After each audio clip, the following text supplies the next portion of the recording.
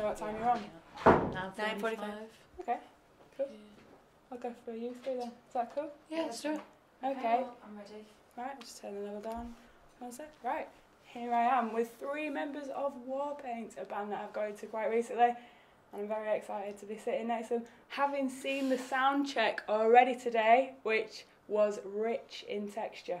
And uh, who have we got here? Tell Yeah, us what you're holding in your hand and what you play. Lemon. Um, And you are, Emily. I play guitar and sing. thank you. Cup of tea, Stella Mozgawa, drums. Decaf mocha. um, Jenny and I play bass. Okay, and we're missing one member who's currently looking for her mobile phone. So Theresa- Theresa has no no, phone. iPhone in her hand. And she's guitar and vocals. Yeah. Yes, so we've got a lot of vocals in this band, and we're going to talk about you, Stella, as well. Mm. Quite new to the band, aren't you? I am, well, relatively, yes. The band has been together for six years, on and off. Yeah, And yeah. I've been involved with these ladies for almost a year. Okay, fantastic. And I read mm-hmm. somewhere that someone said that you are the missing piece to this beautiful band. Oh, missing piece of the puzzle. That was me. Oh. I love you both. And Right, there is a lot of love as well. You seem so chilled out when you're on stage. Um, I've seen the sound check and I've seen you laughing a lot, Stella. oh, yeah, these And guys I've are very seen, I've funny. seen in some of the interviews that you do, there's a lot of giggling. Mm-hmm. We want some giggling now, alright? We'll get But into it. I've will also, I've also seen that uh, you like to touch other people's hair. You've been touching your own hair, and I wanted to sit next to you during the interview. I wanted you to touch my hair. She's I, She's I really am into my hair hair right now. twirler. Yeah, what's it about? What does it do for you? It's really soothing. I don't know. I've been doing it since I was like six years It's like old. sucking her thumb. Yeah, it is. My mom used to get mad at me when I And would do it, and every time I did it, she would cut my hair. It was it was short, and my hair was That's really long, your long time ago. now. That's why it's short now. yeah, But it's a good look. my mom Cut cut it in my sleep. Oh. Um, but she left these. okay, okay. Let's let's Sort get back to the music then. No. we can talk about the aesthetics happily. All beautiful women as well, I've got to say, in this band. Yeah. Thank you. Thank you. But um, you've been going since what, 2004, and you met on Valentine's Day? Oh no, you didn't meet on Valentine's. You you got going as a band. Yeah, is that that was right? our first practice. Yeah. Mhm. And uh, how long you been into music? Have you always enjoyed playing music, doing music? What got you into wanting to be in a band? Um, let's see here. I've I've been playing music for about ten years, and for the first couple of years that I started playing music, I actually didn't even have any. I was really mortified of the thought of anyone even seeing me play Right. bass. I played bass by myself in my room probably for the first like year and a half, and nobody saw me play. And the first show I ever played was this. Uh, it was just an instrumental instrumental piece that I had with a few other people. And the first show I was I sat behind my bass amp, Okay. Wow. so that no one would no one could see me. I was like ah, mortified of anyone seeing me for some reason. so you got your little quirks about hair twirling, Mhm. and also not wanting to be seen as much. But Extreme now, stage fright. now, yeah, it was ex- Look yeah, out. it's sta- yeah, it's stage Yeah. fright. And then after a while, you start playing it, you, I, it's it's like an adrenaline rush. It's really fun playing, and I don't really feel. I feel more. I guess being nervous is is just a form of excitement. But now, I actually, just feel excited. You know, when I'm nervous, I recognize that it's just really excited. It's positive. Mhm, It's called yeah. eustress. Yeah. It comes with an apparently. But yeah, what can I say? I mean, we've got a really good gig coming tonight. We've got the four of you. Theresa, I hope she finds a phone. Me too. But we've got ex, well, not exquisite cards. We've got the new album, The Fool, out tomorrow, and people can buy it tonight. What's that? We forgot. just we just didn't really know Yeah, what we've the day been was. counting down, and then when it just gets to a Today is the 24th. We're in the Deaf Institute, 24th October 2010. Let's talk about the new album. Have you been getting some reviews already? Um, yeah. Yeah, we've been pleased with the reviews. Mm-hmm. They've Seems like quite people nice. have been really, yeah, they've liked it and got got it. a Yeah. sweet response, I would Mhm. say, A sweet response. so far. How's it different to Exquisite Corpse, your EP released in 2008, which has gone down well all over the world? How's it different? I think the it's. Fool. Mm, you mean uh, sonically or just the reviews? The sound, yeah. Um, Because you, you had less time to work on this one, I'm guessing. Yeah, we had less time. I would say the one obvious thing that's different is on the EP we had four different drummers playing on the EP, and on the full length. It's just Stella and Theresa plays on one song, so there's more consistency Absolutely, yeah. with the rhythm section. I would say. And With the obviously, drums. you've been compared to Cocteau Twins. I compare you a bit to Vivian Girls, but they're a bit more surf inspired. But how how does it sound? Does it sound any different to recent stuff that you've been doing? Um, does it sound different to Exquisite Corpse? I think it's just like an evolution, an evolution of of of the EP. It's still, I don't think it's like vastly different. Like, whoa, who's this band? It still sounds like You've got your War own Paint. Yeah, Yeah, yeah. and it's just the evolution of that. It's like the older sister is Yeah. what I like to say, older sister of the EP. Come on, That's nice, metaphor. We've been waiting for you. We've got Theresa in the room. Have you got your phone? No. No. it's not on It stage. doesn't make any sense why it's not here. Hopefully, we're going to give you some positive vibes. You're going to find this Yeah. phone. Um, The only thing about that that sucks is just that it's like you do personal things on your phone, so it's like you don't really want some random person to find it and then like you know. Oh no. Oh, no. You get we the real keep war paint right now. It's real.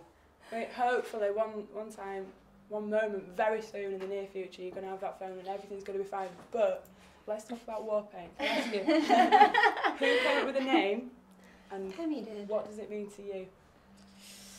It's just um, it was just a seemed like a cool name that just happened to cross my mind, and um, and everyone liked it, and it's just it represented something cool. Like there's so many ways to interpret it, and Mhm. it's such a simple name that just hadn't been used, and Yeah, it works. felt like we could fit the name and fill the name, Yeah, yeah. and um, and you know there's all sorts of meanings we've created.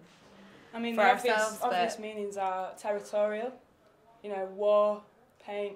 It almost relates to the slits because they were sort of primitive in energy and metaphor about what they're about. I mean, can we talk a bit about Ari Up? I mean, have you ever been inspired by the slits or Ari Up in any way? We actually one of our first that? shows we played with um This could be your phone. your phone? Whose is that? It's not mine. It's an iPhone, isn't it? That.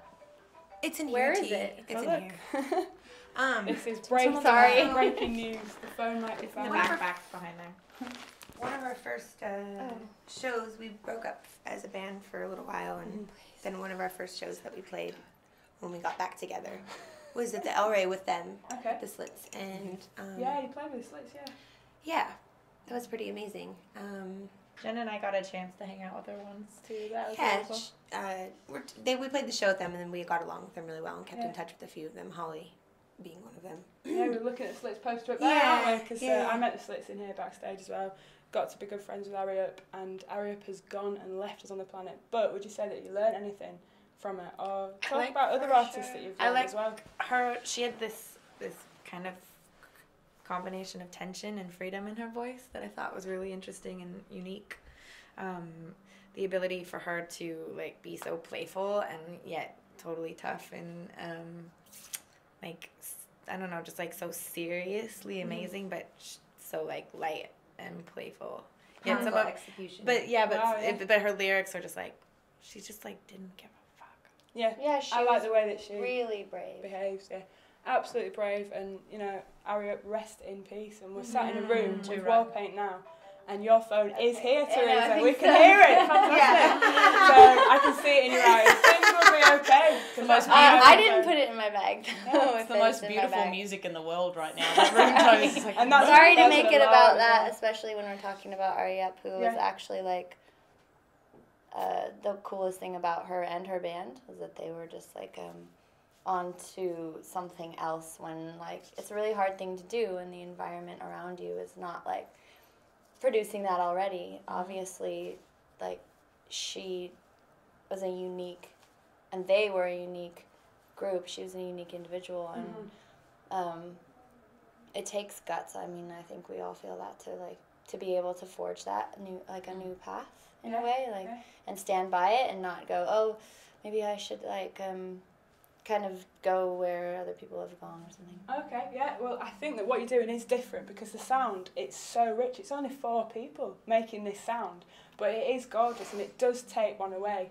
It is sort of celestial, uh, you know, just just takes me away. We were just smiling when the music came in, when uh, you'd all got into your positions, and finally the drums sounding right and the guitars, and then the three vocals. Is it three or is it four? it's three for that Yeah. song. yeah, it just it sounded just right. I mean, how did you get the vocal style going? For which song, sorry? I don't What which makes talking about it her was. sound check? It was great. Oh. Yeah. So, Oh, I mean, I love the vocals. I, I do compare vocals a little bit to Vivian Girls, possibly Shangri-La's. Never heard the Hmm. Vivian girls. I really love the Okay. Shangri-Las though. Yeah, Out in the streets. yeah. They're like a little bit more, even more abstract than we are, I think. But, um, yeah, I don't know how. How what was your question? How do we How we get got our vocal stylings to Yeah, be on 'cause that I song think in start- general. I- In general, you just start singing and you, you, there's three voices there. That's like how do you pure get? sound. I don't know. That's you like just- asking how you get your brown hair or something. You know what I mean? Yeah, like it's like you can't really like.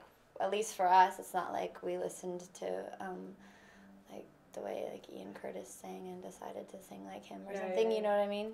Time, So- I think just time. We've been a band for oh, you know on and off for six years and tried out different styles. And Yeah. Emily would sing, and then Theresa started singing more, and then they started doing harmonies. And it's like, oh, let's three people do this. Let's sing in unison so that the vocals pop out and stand out. It's just it's just been over time where we're like, what sounds? How can we make this more? How can we make it more? What how I'm can we evolve? it and- sounds very together, and Mm. you know, it's a very succinct sound. I think it, because as a band in the beginning, we always were really simple. Um, not simple necessarily the music, but just starting where we could and starting simply. And so, like, we've always had time, we've had so much space and time to just, like, always add new elements when it felt like time. And then it was, they were right on time. You know? Okay, okay. I think I know what you mean. And we're talking about time. We're being told to end this interview. And let's think about space and time and brilliant elements. We're going to experience. We're going to experience something else tonight with Warpaint at the Deaf Institute. And all the best with the new album. Thank I'll you so much. get a Thanks. copy. That was lovely. And thank you very much for the interview. And have Thank a you. fantastic night and tour. Well, We you should be Thank our you. like permanent um, Interview, pep, interviewer. pep talker for every show. Okay. Like, We're ready. We're ready to You're like- song. yeah. Yeah. Ready to open up. Roll a those song. better about and myself. Just get out there and have a fantastic night. Anyway, yeah. thank you very much, Warpaint, for coming Thank on. you. Anything Goes Breakfast Show. And if I could just say, could you say, we are Warpaint, and you're listening to the Anything Goes Breakfast Show. And then we're done. Okay. Okay. Anything Goes Breakfast Show. Yeah, Give you a that's. Okay. Anything goes breakfast show. Yeah. Yeah. Got it. Cheers. Ready? Yeah. One, two, three, four. Thank you. two, three, four. Hi, we're Warpaint, and you're listening to the Anything Goes Breakfast Show! That's what we're talking about. Thanks very much. Have a brilliant gig. All right, you too.